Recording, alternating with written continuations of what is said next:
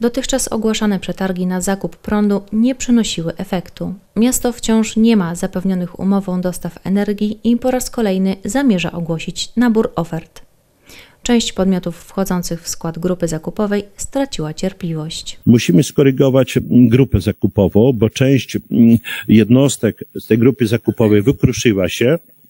I y, takie są plany, żeby gdzieś tam y, w początkowej fazie lutego ten y, kolejny przetarg ogłosić. Wystąpiłem z takim pismem, czy moi współpracownicy, y, do członków tej grupy zakupowej, żeby wypowiedzieli, chcą z nami, czy indywidualnie wójt gminy y, Raczki wczoraj pytał mnie, co robimy. Póki co miasto ma dostęp do zasilania, nie ma przerw w dostawach. Sytuacja zdaje się być stabilna.